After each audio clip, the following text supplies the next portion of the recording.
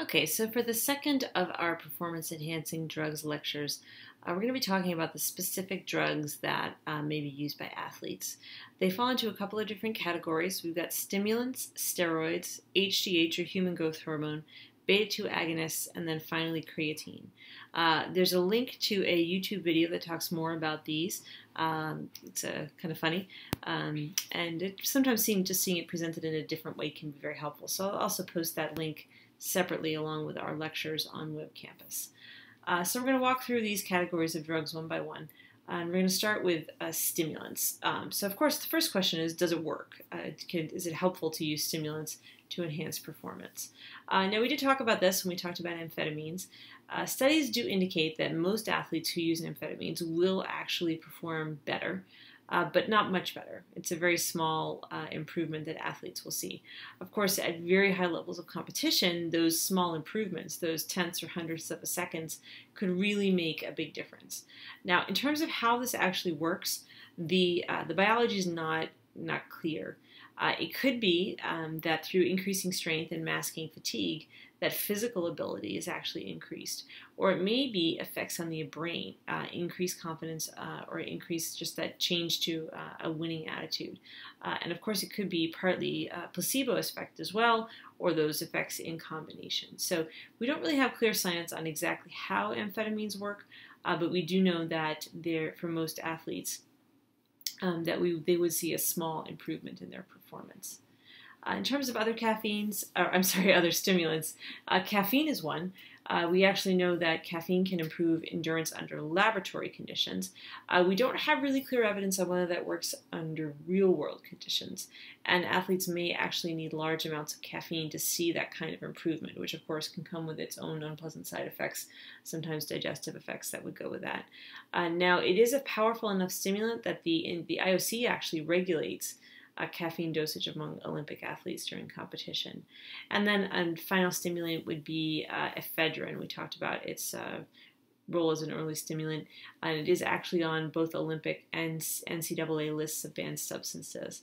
Now, our professional sports organizations were slower to ban it, so it showed up on for Olympic and collegiate athletes faster.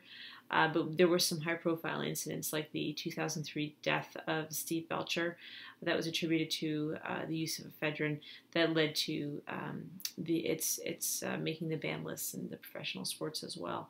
Uh, now, one of the risks with ephedrine is that it may be included in supplements but not clearly labeled.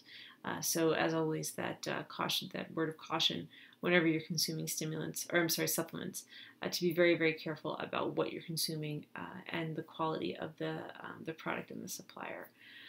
So, moving on to um, steroids, this is one that we hear a lot about. Um, and basically, uh, we're talking about um, substances derived from testosterone. So, uh, we can see two different effects from that. Um, those androgenic effects that we talked about with the East German athletes, those uh, masculine characteristics being developed, and then the anabolic effects, and those are those tissue building effects where we see increased muscle mass, uh, different distribution of body fat, uh, and increased um, calcium deposits and uh, protein synthesis as well. Um, so, of course, our question here um, would be whether or not those steroids are effective. Effective. So, when we look at research findings, um, we do see that in organisms with low testosterone levels, that synthetic anabolic steroids can build muscle. Uh, now, we don't see any increase in aerobic capacity or endurance among healthy men. Uh, and among healthy men, the steroids at the doses that were studied did produce small increases in lean muscle, lean muscle mass and also muscular strength. Um, so it's unclear at those levels whether giving those steroids to um, men with normal testosterone levels, whether it's really going to have that significant effect. Of course, one of our concerns with steroids is that the doses that are considered safe to study in laboratory settings are rarely the doses that athletes are taking, right? Athletes are probably be taking much higher doses and maybe even higher doses combined, that concept of stacking steroids. So uh, we may see very different uh, physiological and psychological effects under those conditions as well. Um, some of the psychological effects that users report uh, could be include feeling stronger, and then because of that feeling, being able to work harder. Uh, and we may also see that uh, placebo effect at work there as well.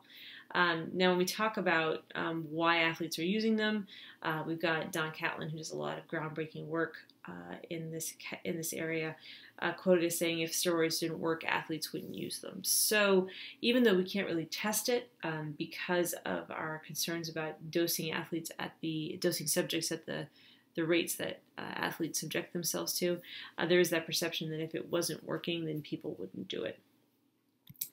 So, the psychological effects of steroids, that idea of roid rage, uh, we do know that steroids um, may produce anecdotally this, this stimulant-like high, this feeling that people report when they're also uh, also from taking amphetamines, uh, and that increased aggressiveness, uh, which could be very productive when we talk about a training session, uh, but over time and with high doses, uh, we could be seeing um, that uh, start to interfere uh, socially, could interfere with social relationships and other aspects of life. Um, and that's what leads us to that concept of roid rage. Uh, now, in terms of being able to document this, again, we're not going to subject athletes to the types of doses in a study that would produce this. Um, so we we don't have a lot of science behind it. Um, it could be that some of these stories are exaggerated, but they are pretty widespread. We do hear steroid users report uh, widely this uh, idea of violent feelings and actions, uh, and it's definitely something that is causing concern. Um, in for particular groups of uh, particular subgroups, some of the adverse effects of steroids uh, for young users. Uh, we talk about stunting, where the um, the growth plates of the long bones close prematurely, so athletes are unable to reach their full height. Uh, risks for men, uh, we actually see shrinking of the testes and enlargements of the breasts, which doesn't seem to fit. Uh, but we see on the flip side of that the risks for women of decreasing breast size and those masculinizing effects. So, uh, different groups of risks for men and for women. Uh, for all users, uh, we see a risk for liver damage. And then changes in blood chemistry that can contribute to atherosclerosis, high blood pressure, and heart disease. So, really, not a pretty picture. Uh, but at the same time, in 2009, that Monitoring the Future study that we talked about, 150,000 high school athletes around the United States reported steroid use. Um, now, the great news was that this was actually a 50% drop uh, from seven years earlier. Uh, could possibly be attributed to uh, broader testing among high school athletes. Um, but athletes are reporting that pressure to use in high school uh, to start getting that um, that edge, that competitive edge, uh, possibly access to um, more elite teams, that sort of thing, and then get clean in time for college before testing becomes more widespread. Um, unfortunately, what those athletes then would be at risk for is that premature growth plate closure and not really being able to reach their full growth. So, uh, if you're interested in checking out the link to that site there, you can see uh, what the NCAA reports in terms of drug use among uh, collegiate athletes. Uh, but we did see through the Monitoring the Future study uh, a decline among high school athletes. So, some good news there. Okay, so when we talk about um, steroids, um, we're going to discuss a little bit here about regulation. Um, so, we do see, um, because this use is off label and banned, a really large black market for these drugs. Uh, and we are seeing more concern about use just among uh, adolescent boys, non athletes who are using them uh, for either uh, recreational or still for training and athletic purposes. Um, anabolic steroids are listed on Schedule 3, so there are uh, legitimate medical uses, uh, but because of those restrictions for Schedule 3 drugs, they're uh, prescribed with limited refills and they require more record keeping. Uh, now, of course, we do still see those drugs hitting the black market. Uh, and at any time we see a drug uh, available illicitly, we see high cost when we see that kind of demand. So uh, we're estimating about two to four hundred dollars per week uh, for use of these drugs, and that's more, I guess, for a recreational athlete. Uh, pro athletes are actually reporting twenty to thirty thousand dollars a year on these drugs. So clearly a lot of money, uh, and then also a lot of health risks for athletes who engage in this behavior. Okay, so we'll move on to our next category, which is HGH or human growth hormone. Uh, and the uh, potential here is that use of this drug would be able to increase height and weight among users. Uh, now, what we actually see um, is a more controlled increase under certain circumstances. Um, so, among uh, athletes, experiments have shown that HGH may have a slight effect on lean body mass, but not actually on performance, not on strength and it's actually uh, illegal to distribute for non medical purposes. So, even though it's available for medical reasons uh, and for certain conditions, uh, it's actually illegal to distribute for non medical uh, training type purposes. Um, so, we actually just saw testing begin uh, last year in NFL, uh, in the NFL. Some um, based on some concerns about the increasing size of NFL players, that it may be becoming increasingly dangerous uh, for the players and for their competitors. Um, now, we have seen um, also a change in um, the manufacture of this drug. Before 1986, the human growth hormone was actually recovered from cadavers, from dead bodies, and it's actually been synthesized uh, since then artificially. So, um, when we look at HGH, uh, we do see legitimate medical uses under certain circumstances. We do see that increase in height and weight that athletes may be looking for, um, but some real concerns about whether that would actually be effective in the, um, the, the competition setting. Okay, so our second to last category, beta 2 agonists. Uh, this may be something that you're familiar with uh, from other kinds of medication, uh, that idea of beta blockers. Uh, an example of these would be clenbuterol. Um, so, in terms of how it works, um, we're talking about selectively stimulating a subset of adrenergic receptors.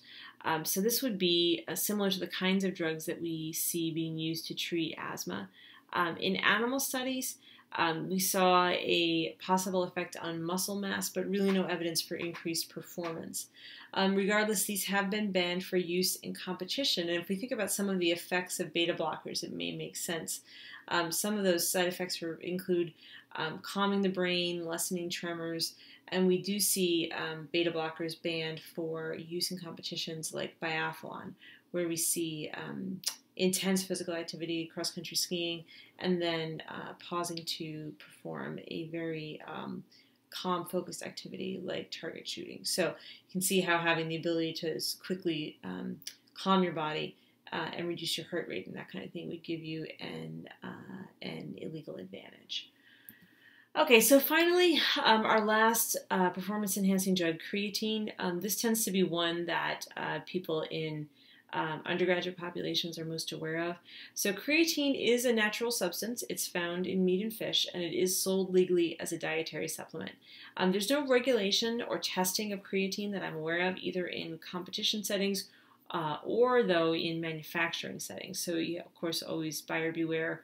As with any kind of supplement, you have to be uh, very cautious about the um, the producer and the quality of the product.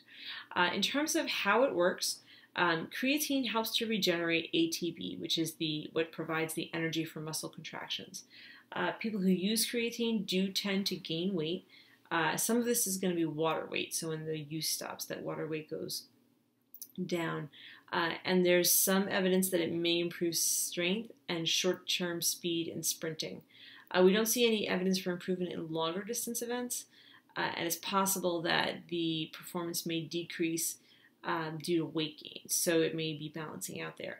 We do know that overuse of creatine is linked to dehydration and also to uh, muscle cramps and uh, stomach cramps and muscle injuries. So, um, although it's not uh, regulated or tested as far as I know, there are definitely some side effects um, that you should look out for if you're someone who's using creatine.